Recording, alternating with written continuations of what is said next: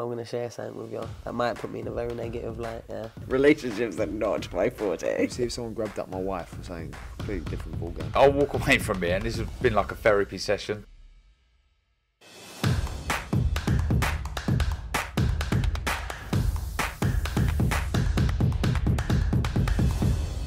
Hello and welcome to Raw the Fight Within podcast. This week, an old favourite of mine. Thank you for coming on, Billy Joe Saunders. Anytime, Kugan, for you, mate. Anytime. I mean, it's very interesting, Coog, because I haven't really done anything with anyone apart from you, have I? You're the only person I've really done anything with. Is there a um, reason for that or what? It's just a percentage that I want at the end of the year, sort of thing. What you know, I'll be happy with seventy percent of whatever the interview is.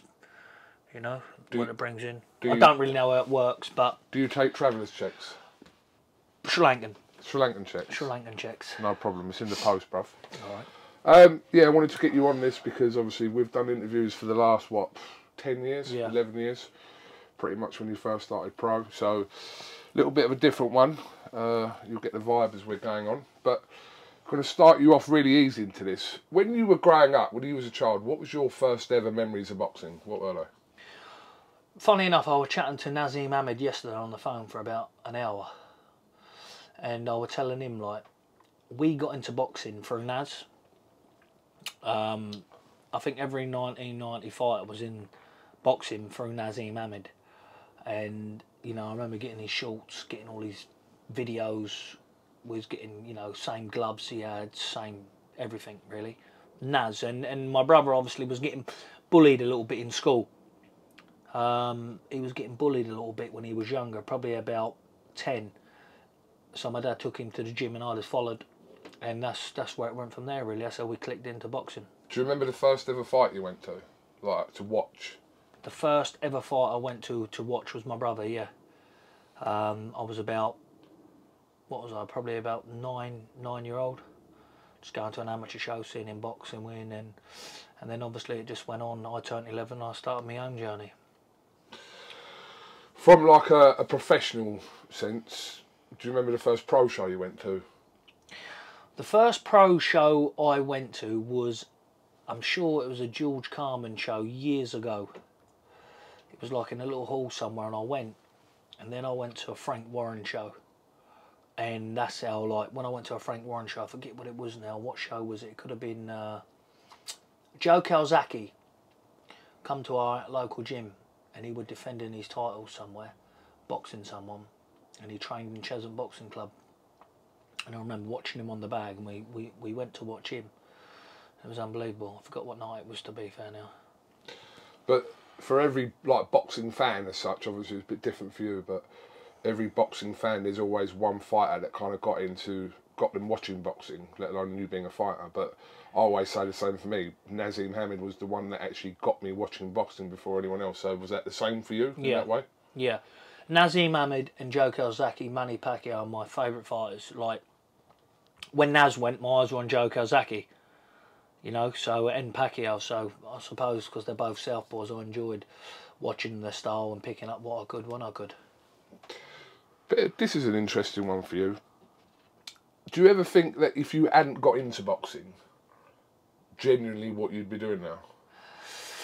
Kugan, if it wasn't for boxing, I, I know a lot of people say this, you know, with with a full stop, but if it wasn't for boxing and, and our boxing come into my life and led me on a path of, you know, clean living, clean eating, you know, discipline, respect, fight respect, then I'd probably be in prison, I'd say, because boxing for me has has made a big difference in my life.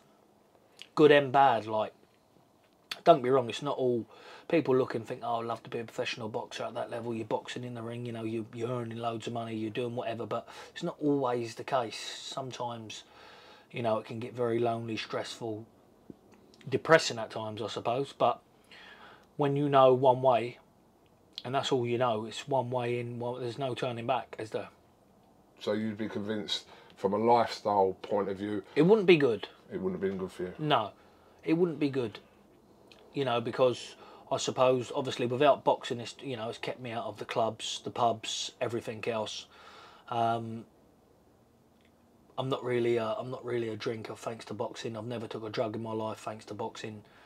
You know, it's boxing has done so much for me. Do you ever think about what, say, let's assume that you weren't in prison or you didn't go to prison. Do you, what do you think your profession would be? What do you Swiss? Swiss banker. Swiss banker. Yeah, You said that without battering an eyelid. Swiss banker. I'll be a Swiss banker all day long, every day. Just sat there, boom, boom, boom, suit on me, sitting there just cashing in. Yeah. Yeah, Is that a genuine answer? yeah, genuine answer. Okay. One ambulance driver, one of the two. Okay. Something good. I would like to have been something helpful. How is a Swiss banker going to be helpful? I can Helpful give to you, a- maybe. I can give you a loan if you, you Oh, I know. suppose, yeah. Do you know what I mean? You come to me, Coog, look, Billy Joe, look, this is what it is. I haven't got good credit because, you know, I've done some bad things. Coog, don't worry, you're a mate. Bam, stamp. Go on, So you're helping take people in that way. Of course. Okay. Or a driver in some capacity. Ambulance driver, maybe. Because I'm a very good driver to get someone to the hospital sharp. Yeah, to be fair, I'm going to echo that because I've been in a car with you many a times over the years. Mm. And uh, it's uh, an interesting experience. Very, very interesting. Pretty much like when I tied my own shoelaces for the first time. Listen, it's like a glove. I'm just, I was born to do it. Do you know when you was a kid? Do you remember the first ever fight you got into? Like, no, nothing to do with when I was when I was a kid, my brother used to get bullied, and my mum, I remember years ago, my brother used to get bullied, and, and she was she was so frustrated, non-stop, like frustrated at him for not even hitting back. We used to live in Basildon, Oak Lane. I forgot who it was now, and then my mum, I remember standing outside the gate, and my mum walking to a, a boy on like a bit older than my brother, so he would probably been three, four year older than me, and went, I'm, I'll give you a fiver if you go in there and rip my son out and beat him up. Bizarre, isn't it? This Yeah. is about my older brother because Yeah. he wouldn't hit back. And I remember I was real, real young, very young, probably seven.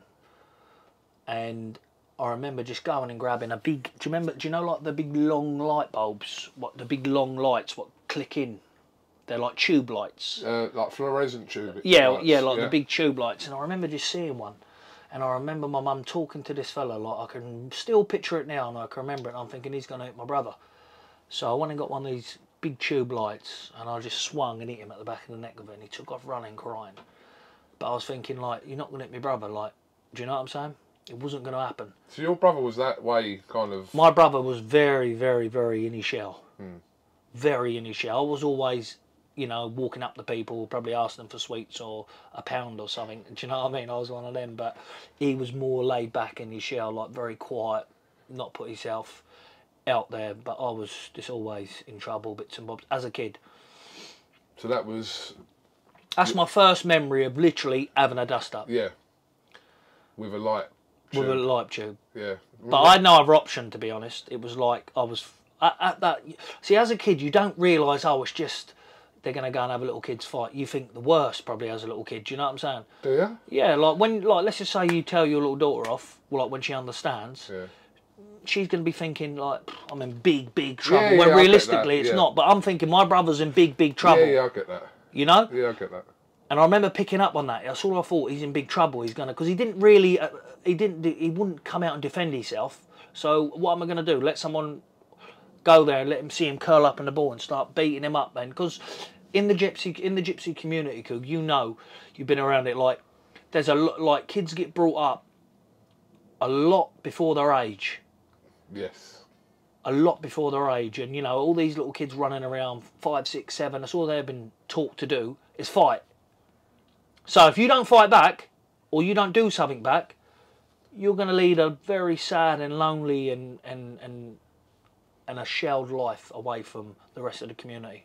Do you not think that's a bit of a? I don't know what the word is, but I understand what you're saying. You're basically you're teaching kids to defend themselves more so as well, because if everyone's kind of that way inclined, then you don't want your kids to be in a situation which they can't handle themselves. But do you not think there's a bit of a shame to that? That there is Kugan, but I bring my sons up.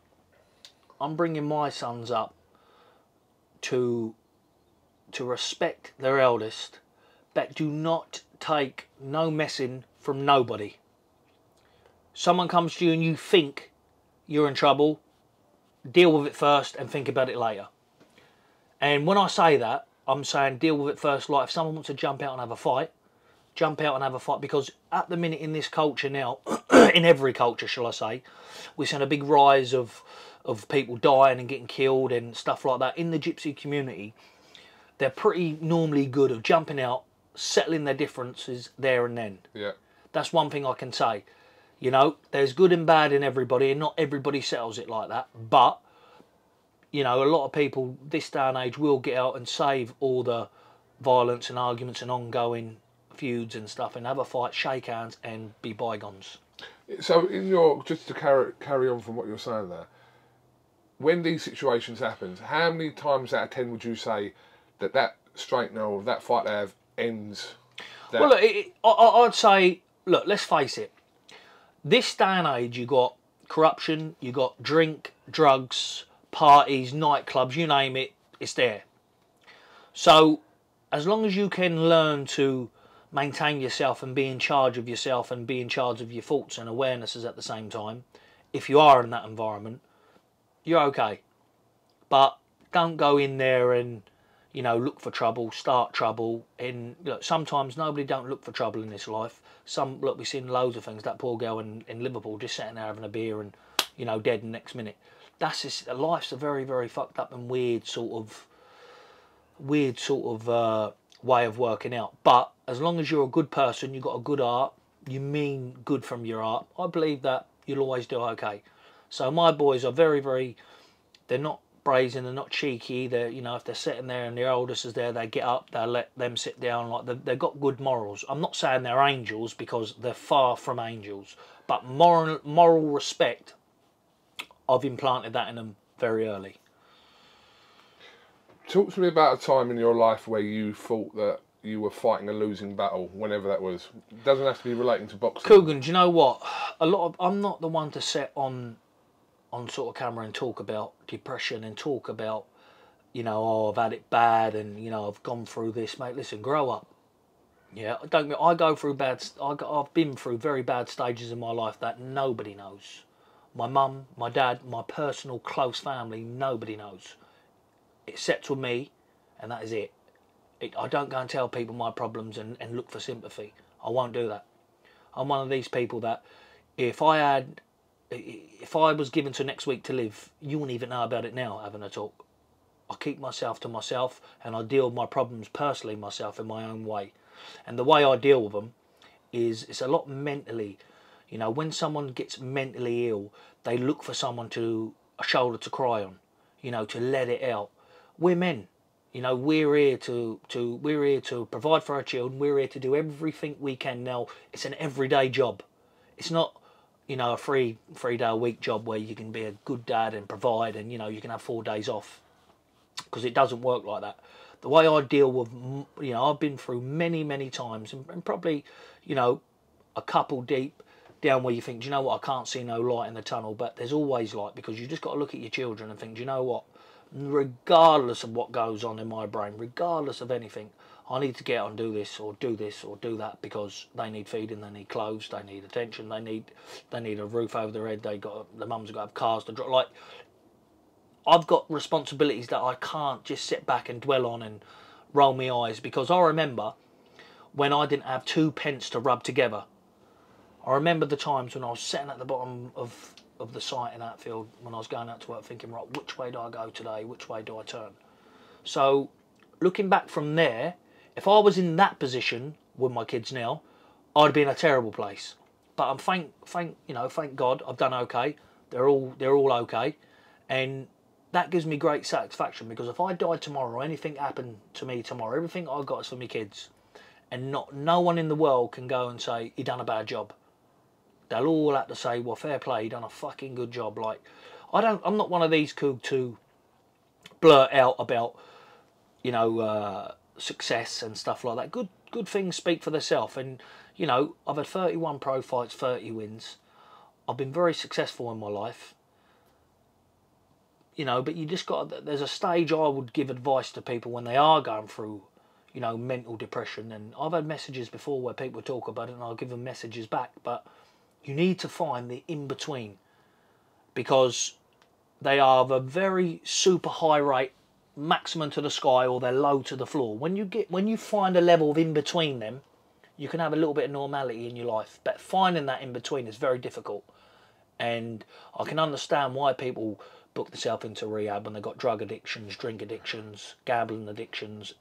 You know it's it's it's not an easy life we live in but it's the devil's world it says that in the bible Do you, do you accept though that you're all right? You're, that's your mentality, and that's how you've been brought up, and that's your mindset. But do you accept that that doesn't work for everyone? Some people need to be able to talk to people, and that gives them a sense of talking talking to people i find it very hard some people's different like you say some people can talk to people about their problems some people is some people needs to get it off their chest and that's good but them people Kugan can't what you need to get in your head and realize to move and, elevate forward is that these people ain't going to be around 24 7 7 days a week no. I agree with that. I do agree with that. so when you get too used to talking to these people, psychiatrists, whoever, today you're sitting down, you're telling me you're going to go and meet somebody.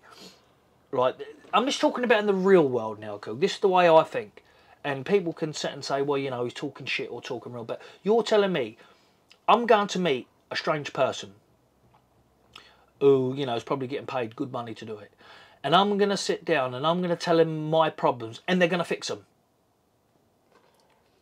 So, talking, you can talk to yourself. It's not a problem. Sit and have a conversation to yourself. Right, I need to pull myself out of this. You've got a crack on. You need to listen, liven yourself up. Fucking look what you got around you for a minute. You got your kids, you got this, you got that. Don't feel sorry for yourself. Crack on and get on with it. It's hard, but you have to keep the train moving. Because when you stop, when you get in that position where you stop, trying to pull that train again on them tracks is very, very difficult. You just have to keep going. Whether it's, look, you're feeling shit, go and have a walk. Breathe, fresh air. Go and, I don't know, go and stroke your dog. Have a little conversation with someone on the phone, ring up. You know, you can, there's always avenues to go down. You don't have to just book yourself in all these people making big deals about it. I understand some people's got it more severe than others, but I think a bit of a bit of mental illness can creep in on people what that you know what they don't realise as well. So people deal with their stress is different. I'm not saying my way of dealing with it is the only way and the best way. It just works for me. Yeah, I get that. It just works for me. It might not work for you, but the way I think and the, the way I need to keep myself active, because people can can go insane, and, and when the biggest killer at the minute for me is, you know, you see people on social media, and they they're living the perfect life. They're putting pictures up in the perfect moments, and they're living their best life. Realistically, they're not. You know, they're not. People people sometimes does stuff to cover stuff up to you know to put themselves away from the society if they don't want to be around people like people people use social media now as like a, an scapegoat shall i say because on instagram i got i don't know i got half a million followers but if i was to let anything on the internet get to me to add to my problems that's like letting 500000 people in my living room do you know what i'm saying Yeah. so, myself personally, social media is there to keep us zoned in, to keep us putting stuff up what we're doing. They're forgetting about their normal life. You go to a restaurant now, I'm bad for it. Be out, phone out, everyone's got their phones out looking. Yeah. Where's the days of having a chat, having a conversation? Lean over to the next table. You know, how are you doing? Are you doing all right? Like, why not do that? Why have you got to sit there for, you know, two hours? You're going for a meal for two hours. An hour of that, you're on your phone, probably more. Yeah, I agree with that. That's just my opinion on that. No, I and that's think- the way I deal with things. No, I yeah. have to move forward. I think you make a you make good points about quite a lot in what you say there. I do think, like you said, everyone's different and has to deal with what suits them. That suits you, so that works for you. Someone might listen to that and have that mentality, which is fine. But for a lot of other people, it's like you have to deal with them situations how it Uh, yeah, but what, best. what I'm also saying is if you can't, if you're not one of them people that can deal with stuff like that, and you always got to think the best coup.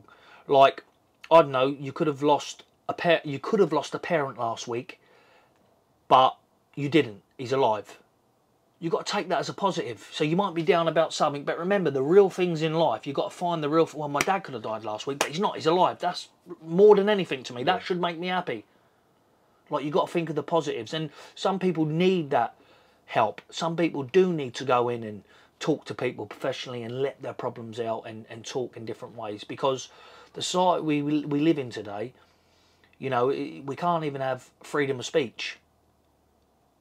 You You can't know? say anything. You can't say anything. There, there can't be any controversy now in this world. It's just the way it's run. It's just the way it's going, and it never changes. It'll just get worse and worse and worse. So, you have to stand on your own two feet and think. Right, I have to do this myself.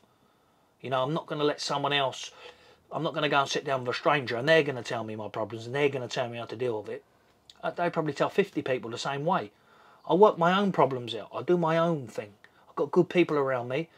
And listen, of course, like I get down, people gets down, depressed, and you go into moods where you don't even want to go out the door. But sadly, I've got listen, I- I've, I've got things to do. I've got things to run. I've got to make sure that I'm on top of them because I've built that myself. Nobody else, and nobody ain't going to take care of that like me. So what do I do? Get down depressed and sit down and lurk around. And I've been off the scene of boxing because I've been very busy. You know, I've been I've been doing my, my I'm not all I'm not just into boxing. I like doing a bit of property, a bit of stuff like just to keep my mind going. You know, even I don't really do a lot if I'm honest, like myself, shoveling and this and that. I may help out here and there, and do you know what I'm saying? But just to keep the brain moving, keep the water flowing. You know, it's, I'm good with that.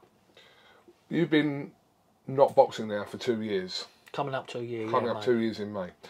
So for you, when you get up in the morning, what are the everyday battles of Billy Joe Saunders? Whether what what are your battles every day?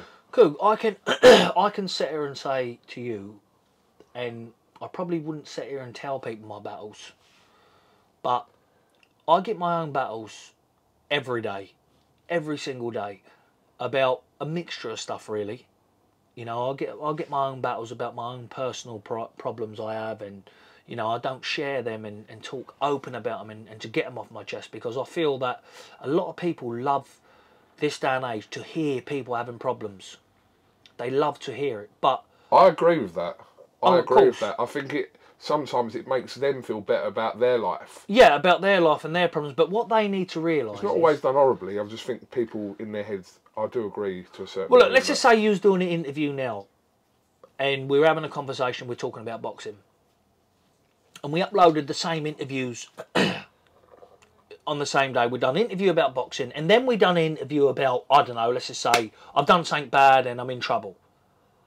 You put them both interviews out. The one where I've done something bad and I'm in trouble is going to get four or five times more views than let's talk about earning money and let's talk about this big fight, that big. No Uh, one gives a 100 shit. Hundred percent. For me now, boxing is becoming a circus in a way where, look, I would love to go to Arsenal football ground, talk to Arteta and say, do you know what? I am one good striker.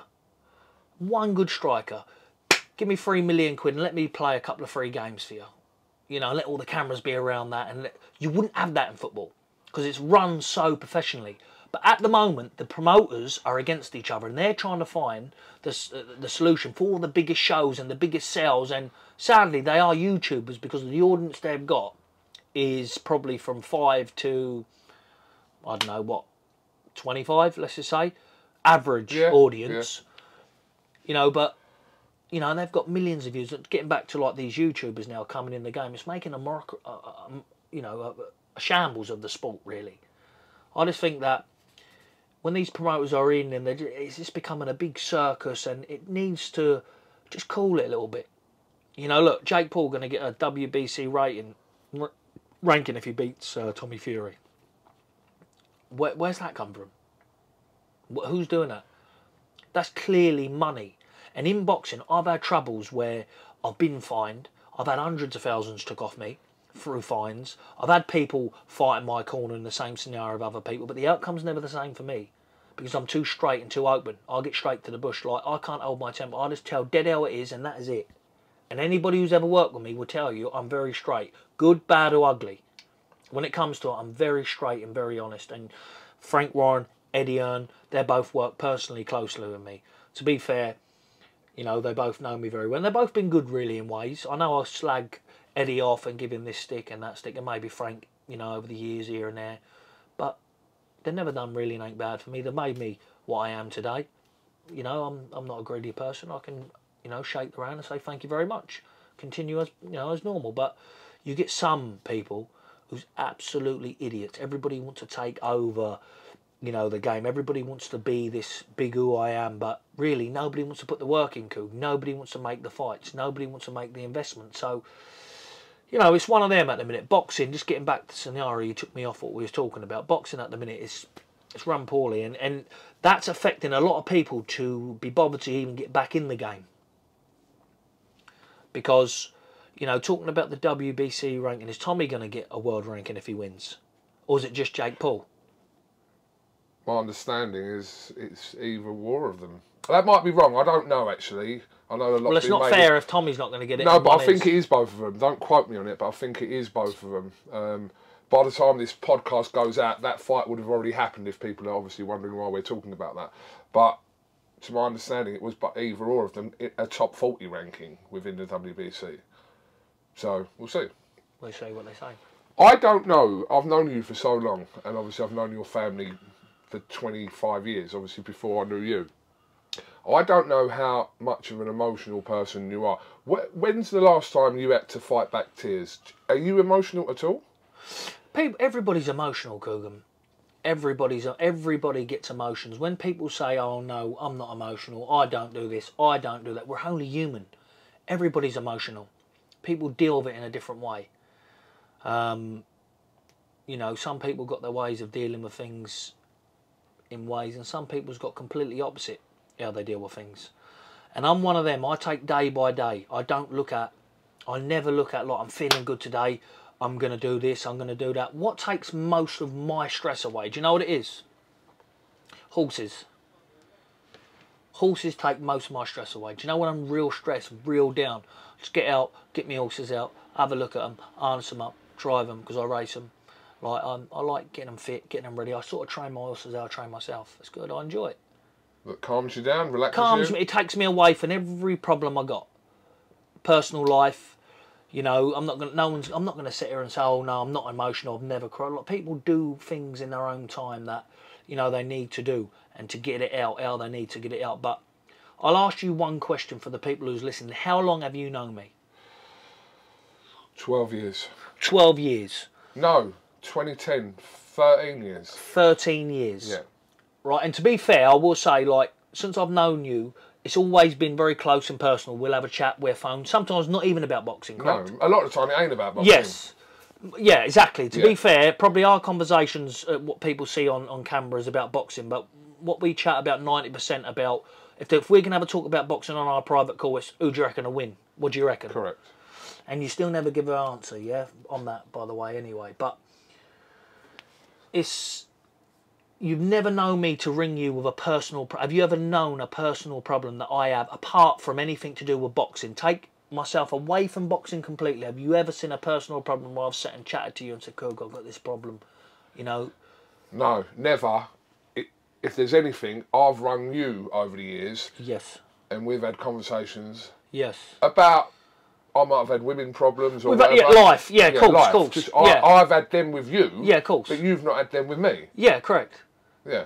So your point, your point is basically Yeah, I don't. you I don't, talk about. I Things don't like talk that. about things No. like that. And and to be fair, I've got a lot of my family members. I don't know what it is, if it's in the blood or if it's not, but most of them's very they lock up inside, and that's the way I've seen people deal with things. And I suppose I've just learnt. To, to be fair, my childhood as a child, my dad gave us the bestest childhood he possibly could. And when I say the bestest childhood, I don't mean going to the shop, getting toys, getting this, getting that, getting everything. He taught us the facts of life. He taught me how to present yourself in a way of, you know, he taught me probably a bit better than I act sometimes. Yeah, but regardless, we've been we've had you know strong morals put in us as, as young kids. We want something, we've got to go out and earn for it. We, we never had anything given to us, and that's all of my that's my brother and my sister. We've never had, you know, an open hand say, "There you go, son. If you have a tenner off me, don't you give it back, no problem."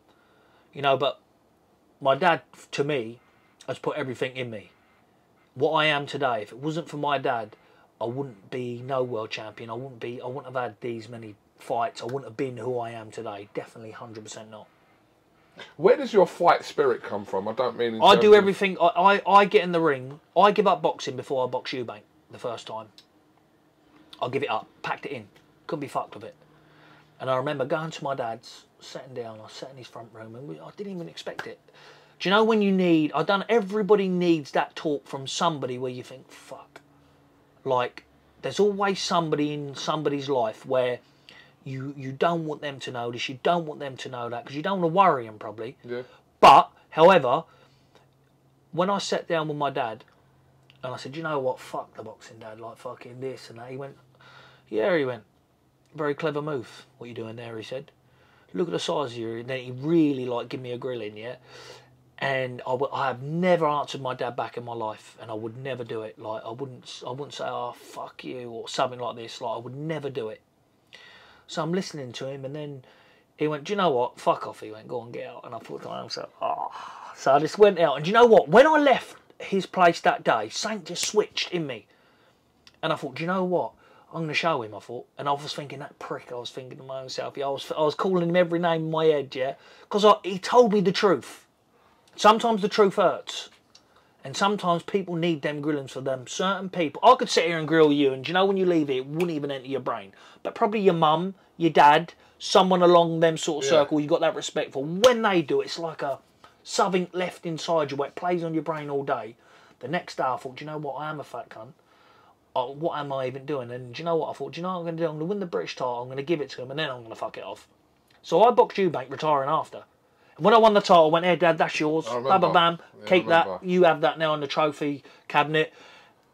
And then Frank Warren's very good at what he does, isn't he? He was like, "Right, got this for you, and got that for you, and a few quid." Like, and then my ears are pricked, and then I'm back in the game. It's just you have to have someone in your life like that, and some people hasn't got them people. Some people hasn't got them people, but you have to learn to walk yourself. Regardless, someone can. You have to learn you walk yourself. You have to learn to sort your problems yourself. That's just the life we live in, and it may sound harsh to people, and people may listen to this interview and go, "Do you know what? His fucking way of doing it is fucking silly and stupid. Fuck that. I couldn't do that. Or oh, that ain't me. No problem. But it's me. I sort my own problems. I figure stuff out myself. You know, I like to be. I like to be on, on my brain sometimes. I like to be on myself. That day you were talking about that you went into your dad to say that you were what you were going to do. You wasn't. I think in your head you're saying you're telling him what you're doing, but really in the back of your head you were waiting for his response to come. You didn't ask him anything, did you? No, you didn't say, "Dad, shall I do this?" No, no, no. What I did do is this. I only went up there for like a cup of tea or coffee or so. Yeah, I just. But I was in the, in my brain cooking. If I make my mind up, and something's in my head, and that's in my head. If I like someone or I don't like someone, once my mind's made up, it's made up. No one's ever going to change my mind. Hmm. People can talk to me and tell me the good, tell me the bad. My own mind is my own mind. And I live and trust off my own instincts, and, and that's how I get by in life. And if I don't like someone or, or I like someone or anything at all, that is it. And when I went in there, I didn't even, my mind was made up thinking, do you know what? Probably thought I was, you know, big who I am because I probably had 60 or 70 or 80 grand. I don't know, yeah. And I thought, you know, I'm done now, yeah. I set back, I chill and got lazy. And then I just got the, I got the old, the old baton one, bam. No, like the word verbally. Like, but he, he didn't tell me, it wasn't like, you fucking this, you, it wasn't that. It was like a calm, I was listening I was thinking, like, he talked so calmly and what he said, I thought, as soon as he said it, I thought, I'm an idiot. I shouldn't have said this. I was thinking, He yeah, knew why what he was doing. Of course. Yeah. Listen, listen. He's my dad. My dad knows the way I think. My dad knows me very, very well. My dad knows me. You know, my dad knows me, and like he knows what to say and how to push and what not, and when to leave me alone. Me and him. Listen, what you're forgetting? I've been boxing since I've been five. I've been doing this and talking with my dad since I've been five year old about this game. And then for me to go and just win the British title, or like fighting for the British, like defend it one more time, and it was mine. And for me to go and sit to him and go, do you know what, Dad? Nah, that's me done. It's very selfish, because my brother done that, and my brother was probably better than me. But we, my He dad, was better than you, yeah, he was better than me. Yeah, let's have it right. Yeah, four schoolboys, NABCs. says. Yeah, he was better than me. Yeah, but with with my dad, like I see my brother do that, and my dad will leave work, and I mean he'd be financially not very secure, and then he'll leave jobs and take us away. And I thought, do you know what? So everything I do in boxing is for my dad, not even for me. To be fair, I don't give a shit. Obviously, the money's nice when you're fighting, but everything I do, I don't do anything for stature like statutory improvement. I do it to look at my dad and go, bam, like got it, done it, like, and that's the way I roll with that game. Would you say that you've had to fight demons in your life? Yes, I have. Uh, listen, everybody fights demons, Kugan. You're you- probably you're you still fighting them now? Yeah, I fight demons now, yeah. I'm not going to sit here and say I don't. My life's not perfect. I'm far from perfect. I'm probably not where I need to be mentally anyway at the minute. Like I need to, you know, I'm I'm I'm I'm t- I'm, I'm myself, but I'm not myself if it makes sense. Like myself is 13 stone, in shape, fighting fit, giving people stick and ready to rock and roll. Like that's me who you're talking to now is really not me, like in a way of who I, who I want to be. And sometimes when you miss boxing, you don't really know what you got until it's gone. And being away from something like boxing, it's very, for me, it's a shit. I've got to be in the gym. My little boys are boxing now. My my my middle boy Steve, my nephew's boxing. I mess around with them. I bring them on the pads. I take them. I do stuff in my gym with them. Like I, I put everything I got into them like I'm I'm very I'm very much in love with boxing really. I didn't think I used to think, Do you know what, I'm gonna retire when I'm thirty. Oh fuck it on the edge like when I'm thirty. But I was speaking to Naz yesterday and he said, Billy Joe, he said, Let me just tell you one thing. He said, When you get to an age of when you realise it's too late, he said, when you get to 36, 37 and you see these others at your age doing what you know they're doing, you look back and think, I would smash these he said, and in your own head you can, but in your body you're too old. He said, then you'll realise what you had. Then you'll realise. He was done and finished at 27. Earned his cash, done what he done, 27 year old retired, and completely changed boxing, put Frank Warren literally where he needed to be, put everybody on the map. Also, Frank Warren put him on the map. Good teamwork. And, you know, when you take, when someone like that says something to you, who's been there, who's done it, and probably got the biggest regret of his life. Twenty seven, not even bother coming, like What- not even bother coming to- out. Not, yeah. You know, like I, I should imagine he's got big regrets. So I don't want to be one of them people, and I don't want to sit here and keep nagging on about it. But I will be back, and I know one hundred percent there is nobody in the UK, there is nobody in the world to step and put a glove in front of me where I'm going to feel out of my comfort zone. So why not give it a go? Do you know what I mean? Why not get back in, get back down to shape? I love going away with the all the gym boys, having a laugh, having the crack, getting in the, you know, the sea, the swimming, the training, the dieting. Even though I complain about it when I'm doing it, but I like it. earlier on in this um, in this podcast, you were talking about if you're not one to sit here and say if you've been depressed and all that kind of thing, but in boxing, how big of a thing is depression amongst boxers? I'm not specifically talking about you. You don't want to speak about that side of it. Good, do you I think can- it's in boxing with boxers? Yeah, of course it is. It's not talked about. No, it's not. lot. It's not talked about, but it's it's talk. Depression is in every sport because depression. Sport comes with very, very, very big expectations from fighters like myself and fighting like who's representing our country at elite level. People like, you know, I use an example now, Conor Benn.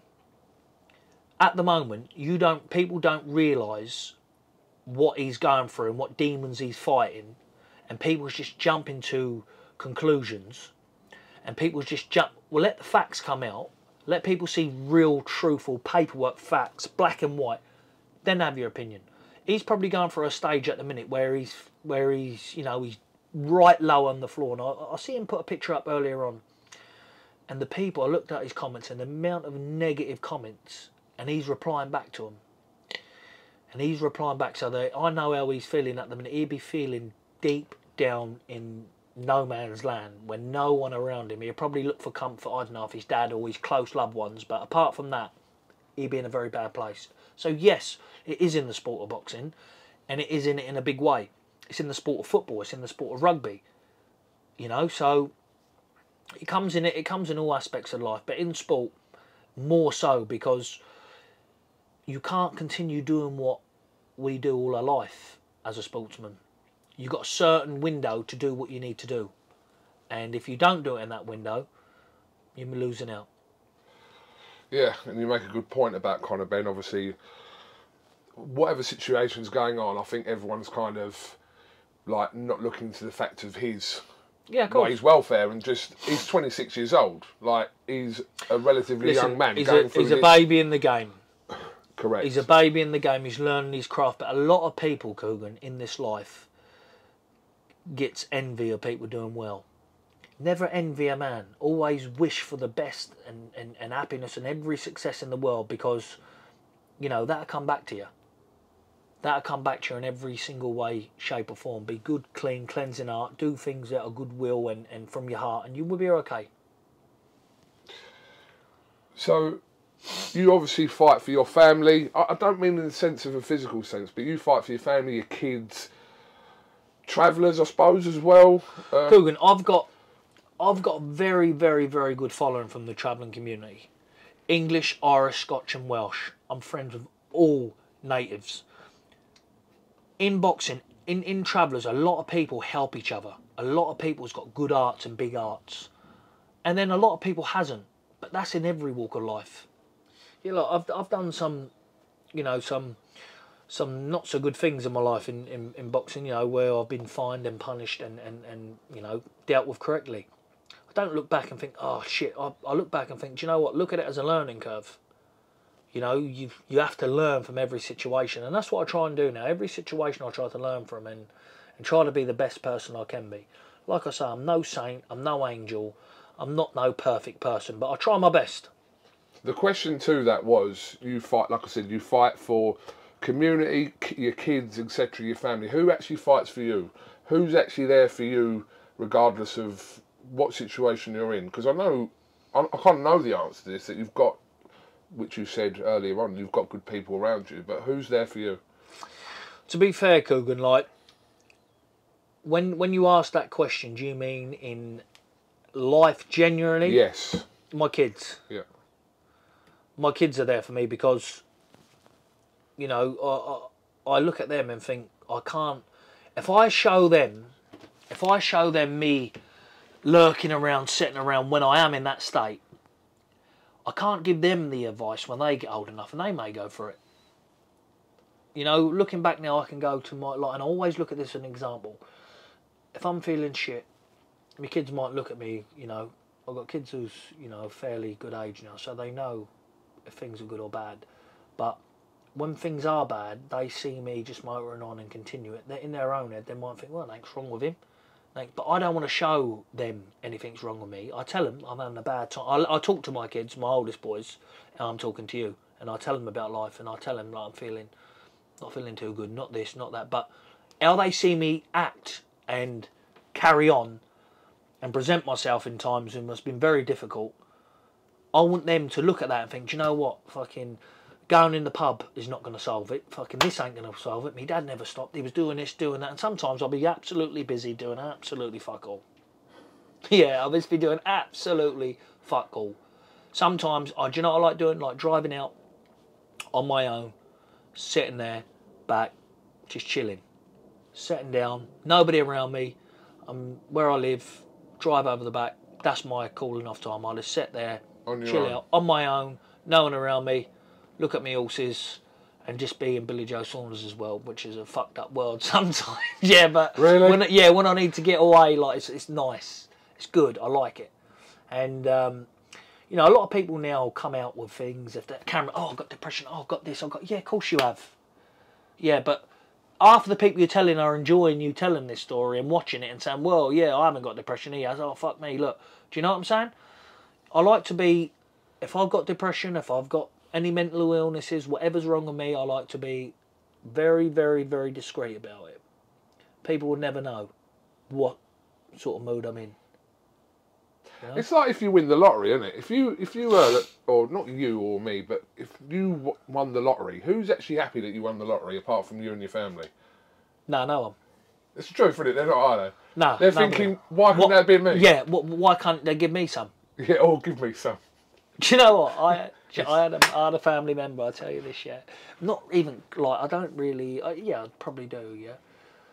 They went, oh, um, they needed an house. They wanted a, an an house. Like when I started doing okay, like oh yeah, we're gonna if if we work, we got jobs here, we got to like we can pay you back the house. It's like 170 odd thousand. I'm thinking, fuck off, mate. Like if so, I kid you not, Kugan, on my right hand to God.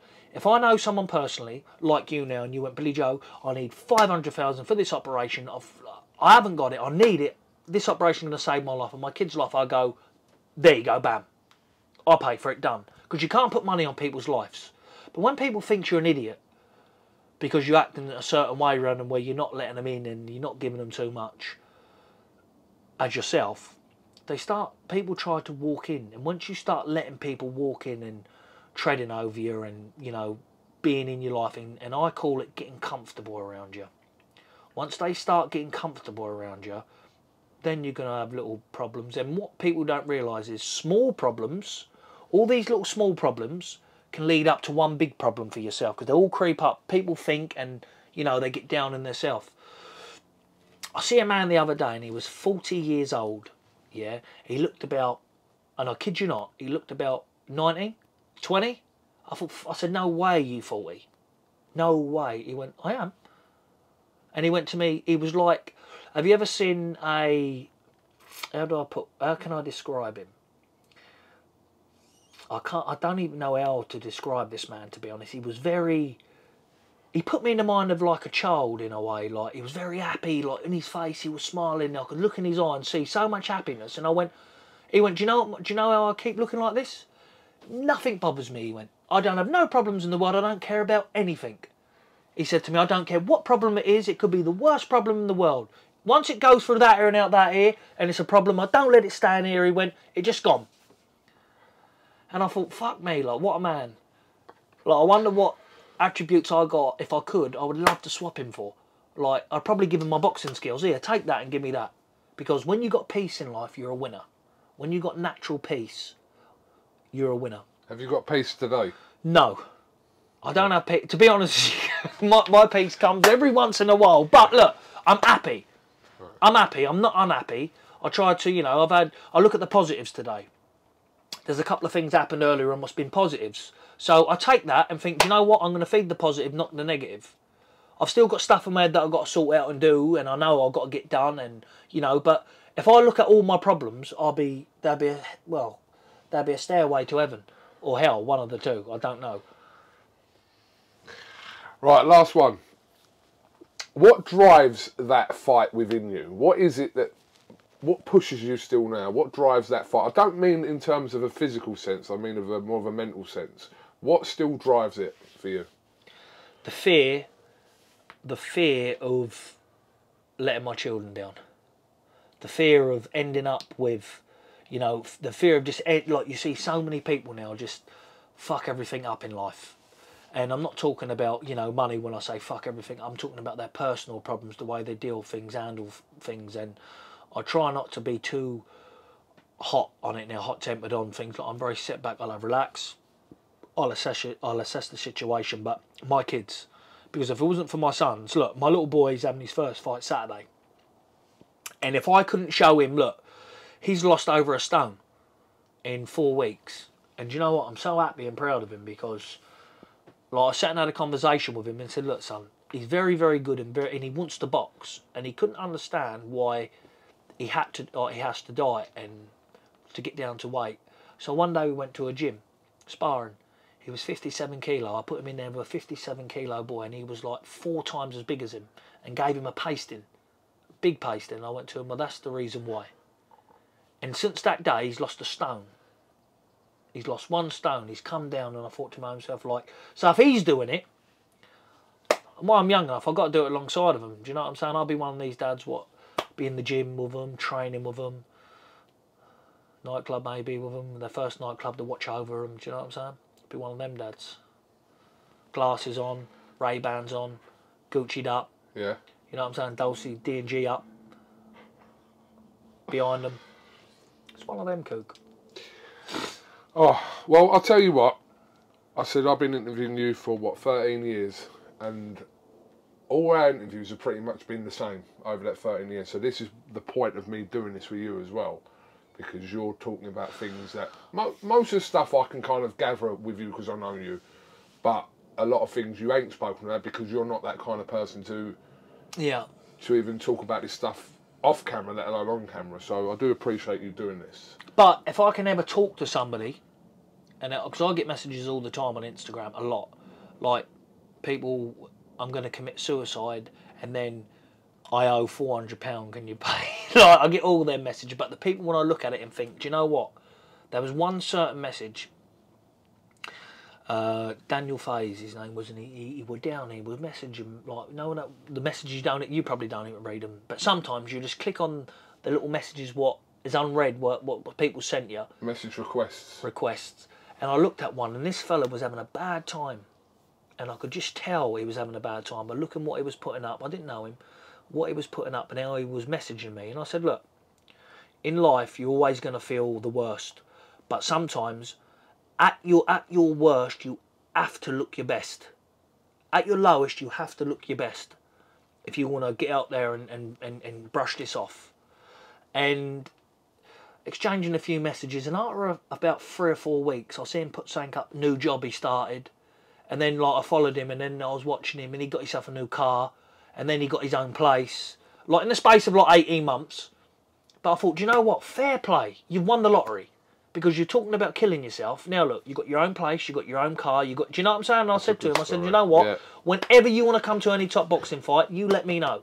And I got him tickets for Tyson Fury fight ringside. Him and his new partner he met, or whatever it was. But looking back on him, he wasn't someone what was just sending these for attention. You could see this person had he had it- he he, he were down. I could tell he were down, and I will say one thing, very very like, and when I, I took something from that because I thought how low he was, and look what he done within the space of eighteen months, how he turned himself back around. So it can be done. Anything can be done. Nothing's impossible. People can do it. If, and if I said, I'm not saying what I said to him helped like made it better, but what advice I give him, if that was a one percent bit of help for him in that full situation that he was in, then I'm a very happy man. Because, you know, if someone really like messaging me, not these idiots who just text you for a chat and a load of shit, personal problems, if I can help, I will. Just the last thing I'll say on that. I know you've done some fucking stupid things Very. in your life outside of the ring, obviously. Um, but I know loads of stuff that you've done that people don't know, like things that you've given people and money that you've given situations and whatever else. I know them things, and I know that you don't do it for people to go, "Oh, well done, Billy Joe." No, yeah, a lot, lot of this stuff. I, I hear it kind of not even from you. I hear it from oh, Billy Joe did this the other day, blah blah. But I know it's being done where it's like you've done it and that's the end of it, rather than put, blasting it all over social media. Kugan, that, that's not that's that way of of putting myself across for help. If one of my there's friends what's come to me, and I mean friends what's been blood friends since I've been very very young, with problems and help in in what I would never talk about. Even a stranger, I'm never going to sit and talk about it because people come for help. That help and a pat on the back. You know, when I see these people going up and putting things on Instagram and oh yeah, you go do this, like, don't do it because it may make you feel better, but it doesn't make them people feel better who you're doing that for. no, they'll feel embarrassed. Yeah, you know what I'm saying. Yeah. You don't you you don't do things like that, and I'm not talking about giving. I'm talking about even helping them. Hmm.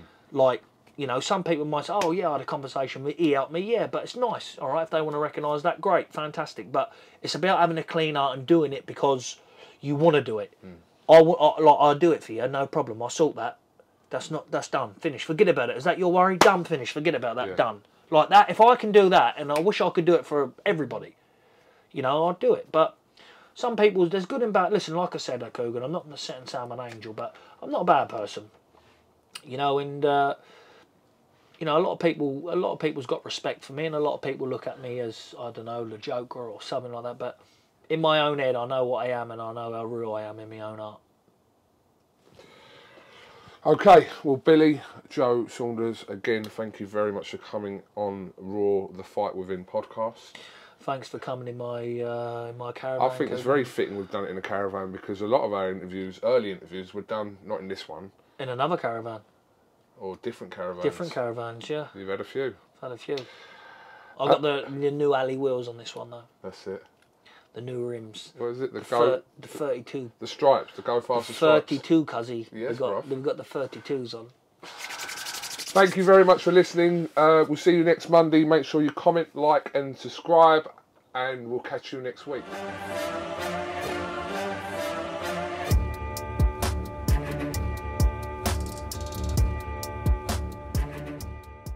I'm gonna share something with you that might put me in a very negative light. Yeah. Relationships are not my forte. See if someone grabbed up my wife and saying completely different ballgame. I'll walk away from here, and this has been like a therapy session.